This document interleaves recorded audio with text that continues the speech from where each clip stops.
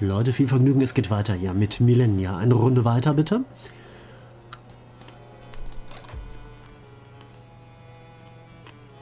Ich habe eben auf Twitch die Damen und Herren gefragt, wie findet ihr die Grafik von Millennia? Und es fielen Bemerkungen wie zum Beispiel Retro, Vintage und nostalgisch.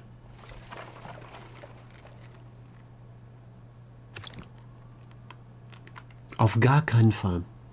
Ich kann nur dringend davon abraten, Allianzen zu, zu machen. Theoretisch schaltet man Vorteile frei, aber die, die, die KI-Gegner sind nach meiner Erfahrung hier laufend mit irgendjemand im Krieg und die Fronten wechseln ständig. Wenn ihr mit irgendjemand eine Allianz habt, kann es passieren, dass ihr im Handumdrehen plötzlich mit immer wieder neuen Leuten Kriege habt. Und das ist unfassbar nervig. Man behält auch kaum den Überblick. Kann ich nur, ist schade, man hat so ein paar extra Bonusse dort, coole Verträge. Ich kann, ich kann nur, ich kann es nur, nur abraten hier. Das ist einfach kein, also die Diplomatie ist Dauerhektik, sobald man mit Allianzen anfängt.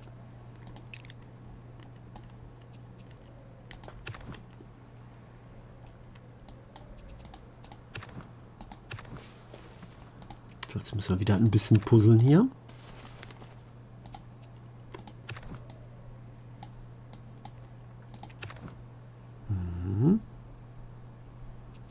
Da entsteht nur ein weiterer. Das ist auch okay.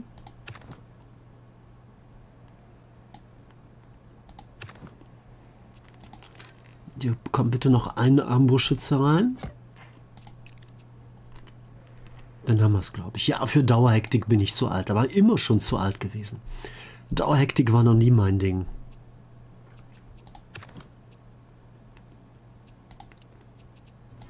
Händler ziehen bitte.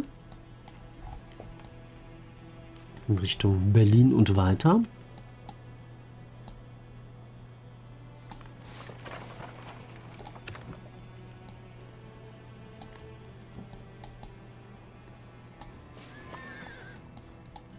gucken gehen, wie es hier überall so aussieht. Nächste Tech. Organisierte Religion.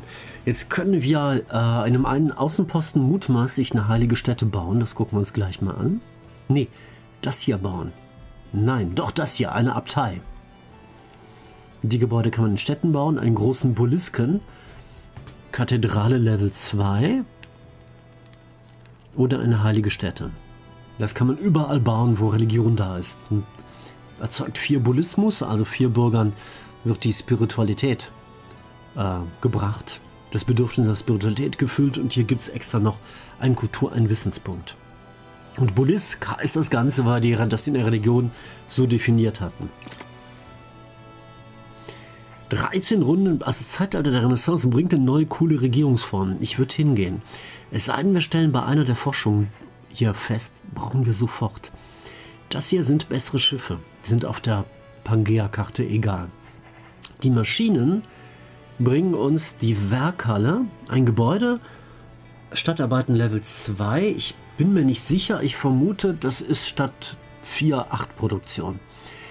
Und das hier ist Holzfällerlager, bringt jetzt vier Produktionen plötzlich. Wow. Normalerweise bringen Holzfällerlager nur zwei. Wenn wir Städte haben mit sehr viel Wald, dann würde sich das endlich anfangen zu lohnen. Und zwar in Perserärger. Da können wir riesige Mengen, aber noch haben wir nur fünf Bürger, es muss die Stadt wachsen. Könnten wir riesige Forst... Das würde sich auch lohnen. Bolopolis hier. 18 Bürger. Könnten ja wahnsinnig viele Holzfällerlager überall reinsetzen und noch mehr Produktion generieren. Memphis. Auch zwei Wälder. Selbst in Amuns Amboss gibt es welche.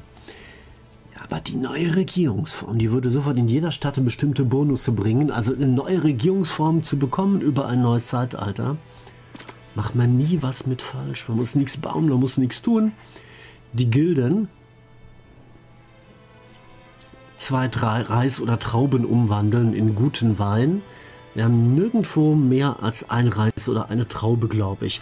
Ich habe irgendwo gehört, man könnte das dann trotzdem durchführen, aber es gibt dann halt nur halb so viel Erträge. Villa. Das ist eine andere Art von Wohnraumgebäude, die etwas weniger Wohnraum bringt, aber wenn man es bewirtschaftet, auch ein Luxuspunkt, das ist lächerlich wenig. Und zehn Vermögen, das ist mittlerweile auch nicht mehr viel. Villen würde ich fast nie bauen. Juwelier wandelt Gold um in Schmuck. Etwas Geld, etwas Luxus. Ich habe den Eindruck, in Geld schwimmt man irgendwann im Spiel. Wir fangen jetzt schon damit an. Und die Luxuspunkte, da hatten wir mehrere andere Möglichkeiten, die zu generieren. Und in den meisten Städten sind die noch gar nicht freigeschaltet. Den Palast, den haben wir schon gebaut und der würde dann Diplomatiepunkte generieren. Mehr als wir im Augenblick generieren. Und der Palast ist ja schon gebaut und das würde dann anscheinend automatisch geschehen. Das wäre der einzige Grund, den ich gerade überzeugend finde. Mehr importieren, Waren und nochmal ein Punkt für den Marktplatz. Nee, Leute, tut mir leid, wir gehen erst ins Zeitalter der Renaissance und dann gehen wir vielleicht zurück zu den Maschinen.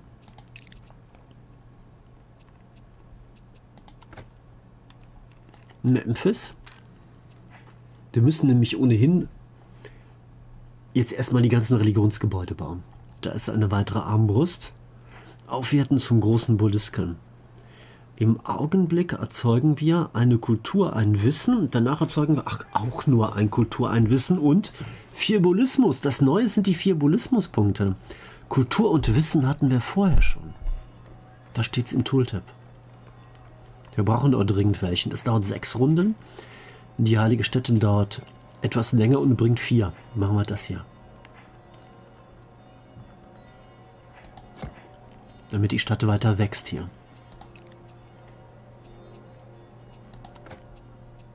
Hier ist das Bedürfnis der Religion noch nicht so ausgeprägt. Hier brauchen wir das dringend.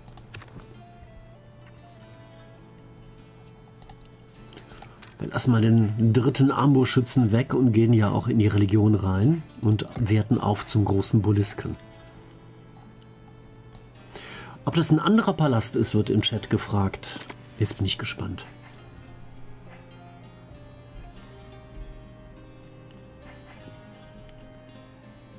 Ja.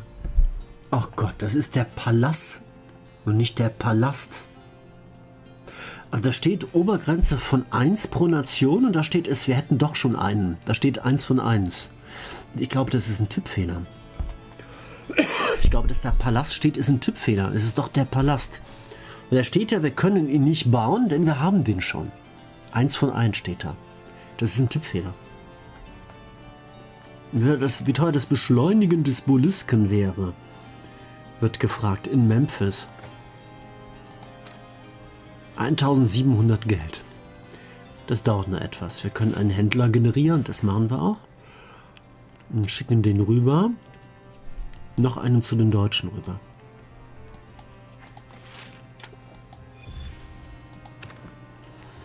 Den schicken aber noch nicht los, der baut gleich einen Bodyguard. Wir schicken die mit zweien los. Ähm, wir haben hier irgendwo noch einen Trupp, der zurückläuft, der, wenn die Staffelübergaben machen. Wir stellen mal ein, dass wir auf einen zweiten sparen. Eine Runde weiter. Ja, wir schwimmen in Geld, aber wir schwimmen nicht so sehr in Geld, dass man Gebäude komplett ohne Not jetzt beschleunigt. Ich würde das, das Geld benutzen, um zum Beispiel auf den letzten Metern ähm, einen Kultursprung zu machen, um den eine Runde zu machen, oder um in Städten, die extrem wenig Produktion haben, die wir neu gegründet haben oder die wir übernommen haben von, von Nachbarn, um da die ersten Gebäude zu kaufen. Sowas würde ich machen zum Beispiel.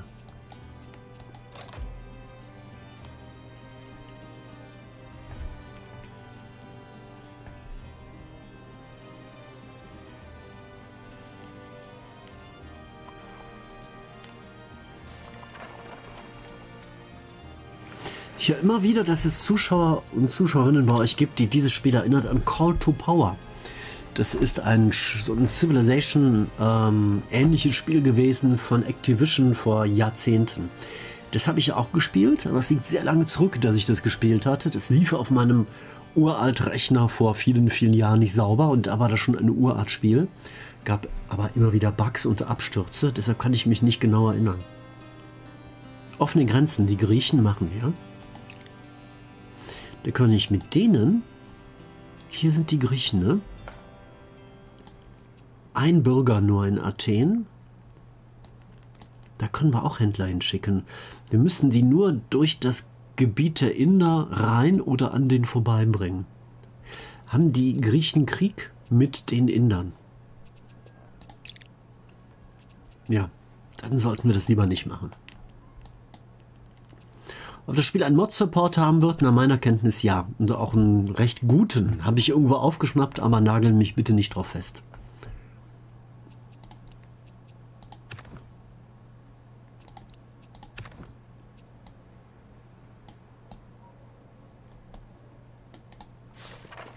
Einmal hier hin. Hier bitte wieder zurück. Und nächste Runde machen wir die Übergabe des Militärs. Dann kann der eine Spießträger zurücklaufen und kann ja dann zwei Händler nachher abholen. Deutschland und Zulu im Krieg. Griechenland und Zulu im Krieg.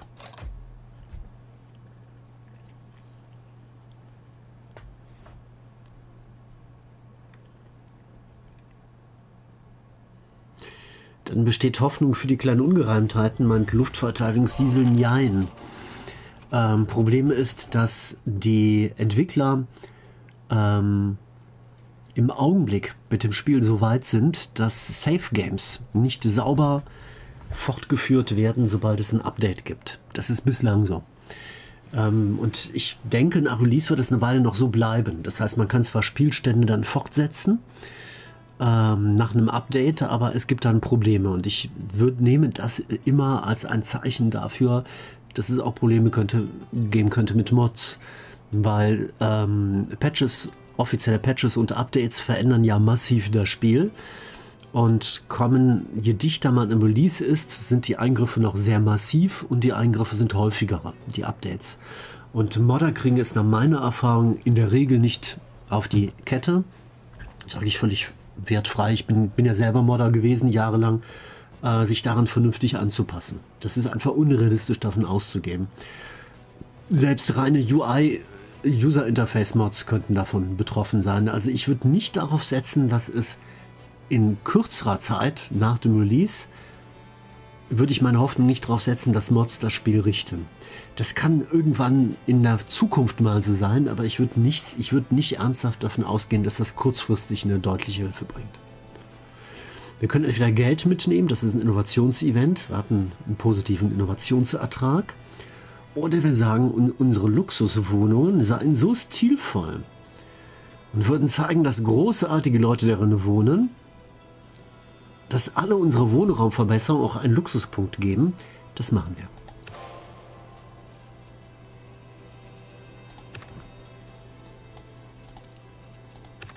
So, jetzt können wir hier die Übergabe machen mit dem Händler.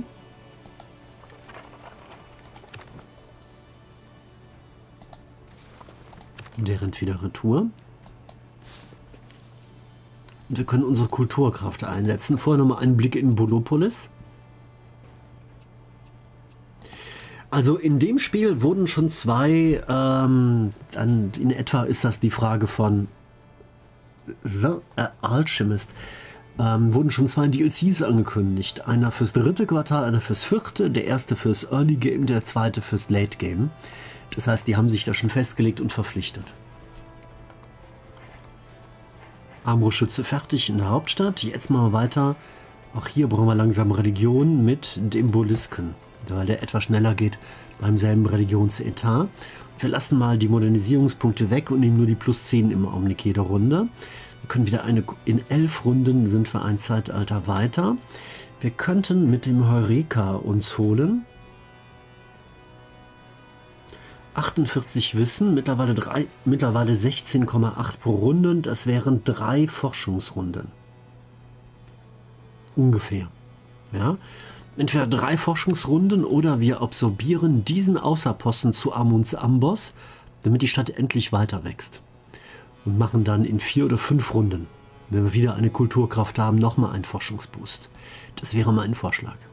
Damit die Stadt auch weiter wächst hier.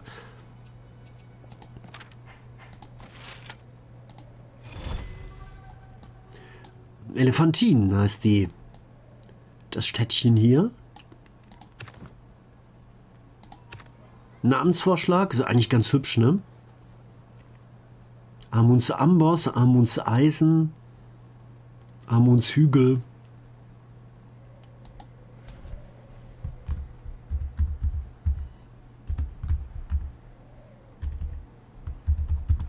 Amunds Minen. Amunds Hammer, sehr schön. Ich lasse mal so jetzt.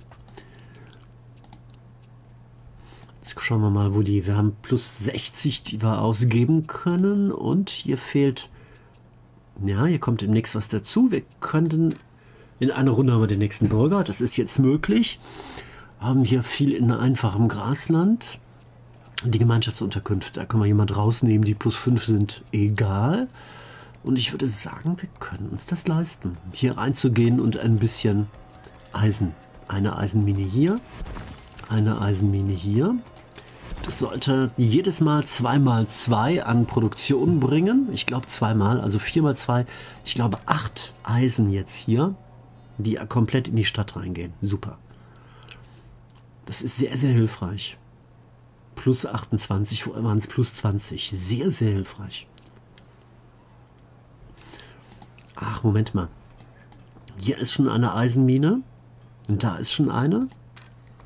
Genau. Jeder Eisenmine gibt zwei Eisen, alles richtig. Doch, doch, habe ich doch richtig erklärt. Und jetzt könnten wir sogar noch den einen Bürger hier abziehen und woanders arbeiten lassen. Wir haben 18. Ja, Nahrung geht langsam runter. Wir könnten von den hier eins aufwerten, einen von den Bauernhöfen. Oder wir leisten uns eine teure Plantage hier. Eine große Plantage, nächste Runde, die vier Nahrung bringt und zweimal und vier, pardon, die ähm, fünf Nahrung bringt und vier Geld. Nee, wir machen erstmal Nahrung hier unten. Bahnhof mit Pflug, einmal das Level up. Alles klar.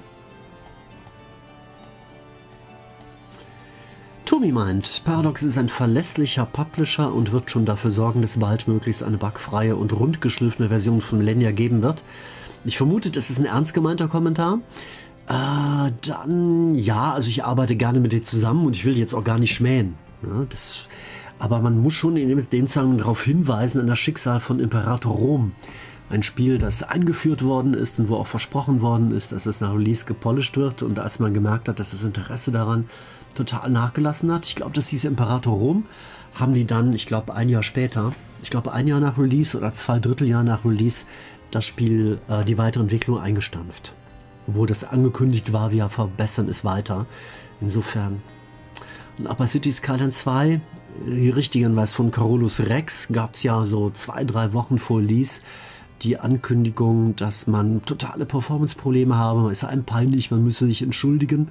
Und die gesamte Entwicklung anderer der, der, der bereits angekündigten und teilweise auch schon verkauften DLCs, je nach Version, ähm, wurde nach hinten hin weiter verschoben. Also die gesamte Entwicklung ist dadurch massiv ausgebremst, dass man noch Wochen und Monate nach Release diese Performance-Probleme weiter beheben musste.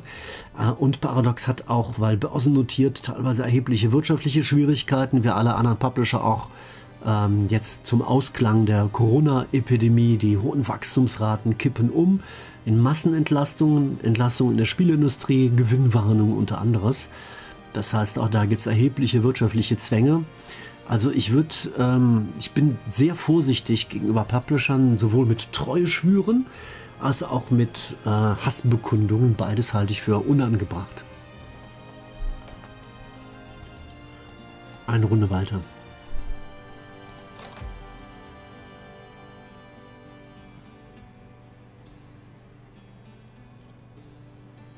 Luftverteidigungsdiesel meint, eventuell sollten wir doch einfach nur ein Feld aufwerten, mit Mühle und Bäckerei weiterarbeiten. Das können wir alles machen, aber in Sachen, äh, wir haben ja genug Platz und in Sachen, ähm, wie effizient setzen wir Verbesserungspunkte ein, ist es natürlich eine billige Geschichte, eine bereits bestehende Modernisierung einfach zu verbessern hier, sobald, sofern es geht. Weil hier muss man nicht viel Punkte reinstellen. Man kann eine Modernisierung auflösen, aber dann bekommt man nur ein Viertel der investierten Verbesserungspunkte wieder zurück. Der wird jetzt gleich von oben abgeholt.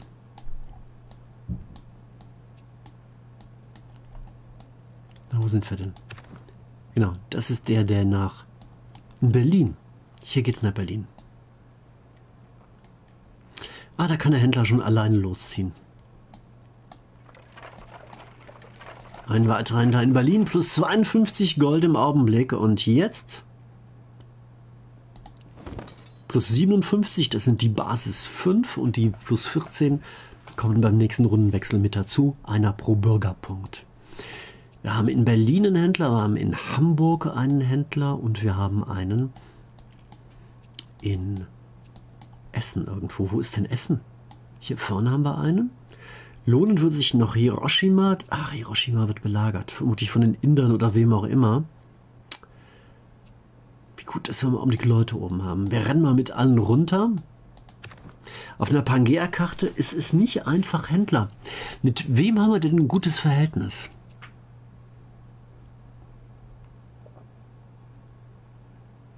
Mit den Deutschen, mit den Griechen und halbwegs mit den Azteken, aber der Punktewert ist ein sehr schlechter.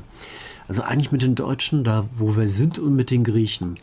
Die Griechen sind nördlich von uns. Wir könnten versuchen, auf dem Wasserweg dahin zu kommen. Mit den Händlern. Aber wir können noch nicht über Ozean fahren, nur über Küste und die Kulturgrenzen der indischen Städte, die werden das wahrscheinlich abblocken. Wird wahrscheinlich nicht klappen.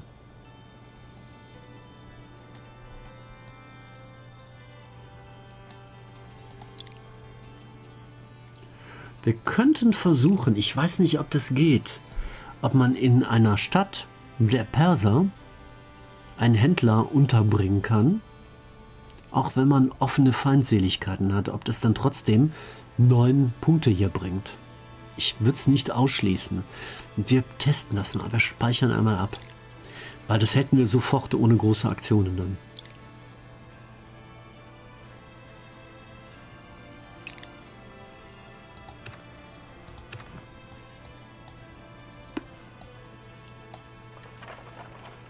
Es geht. Neun.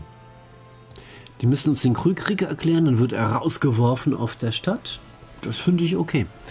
Also das hat sich schnell amortisiert. Sag mal, kann es sein, dass sich die Diplomatiepunkte für die Händler, dass die nicht teurer geworden sind? Für die Gesandten schon, für die Händler nicht, dass die fix sind? Oder hatten wir schon mal noch weniger gezahlt für Händler? Ich habe es nicht im Kopf hier. Das würde ich nicht investieren. Ich vermute, das ist bei der nächsten Regierung weg. Das sollte bleiben, aber brauchen wir nicht. Wir kommen ja langsam ans, ans Ende von dem, wofür wir Regierungspunkte brauchen. Territorium beanspruchen. Wir könnten wichtige Ressourcen bei den Nachbarn klauen hier. Aber wozu sollen wir die sonst einsetzen hier? Das könnten wir machen. So uns das mal überlegen? Das ist alles nur Wald. Hier sind auch keine Ressourcen gespawnt. Die bekommen wir so. Sowas wie hier mopsen. Wäre nicht schlecht, ne?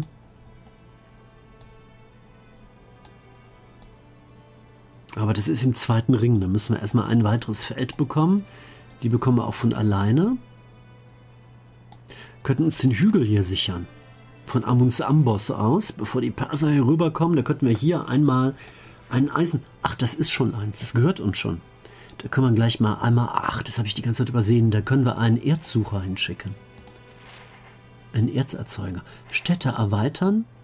Auf welches Level können wir raufgehen? Auf nur zwei oder auf drei mittlerweile?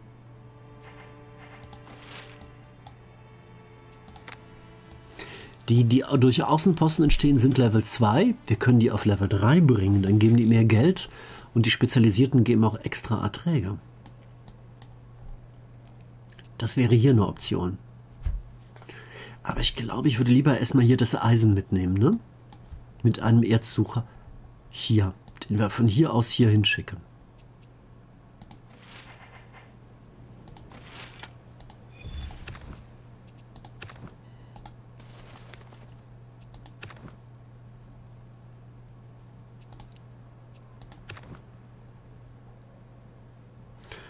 Die haben wir alle gecheckt. Dann bei der Diplomatie geht es wieder Richtung Händler. Bei den Künsten sammeln wir, überlegen uns gleich, was wir damit machen. Vielleicht Religion verbreiten, vielleicht noch ein Künstler. Und mit innen geht es Richtung runter.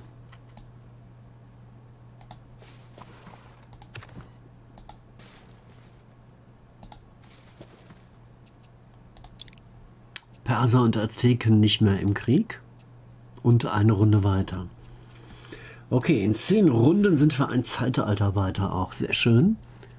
Und ansonsten in vier Runden schon wieder ein Kulturbus und da könnten wir nochmal so eine Forschungssache reinwerfen. Ansonsten in jeder Stadt der große Bolisk im Bau mit Ausnahme von Perserärger. Da gibt es erstmal einen kleinen Boost fürs Monument, aber auch da müssen wir direkt danach weitermachen mit dem Glauben, weil ansonsten wird die Stadt sich nicht vernünftig ausdehnen hier.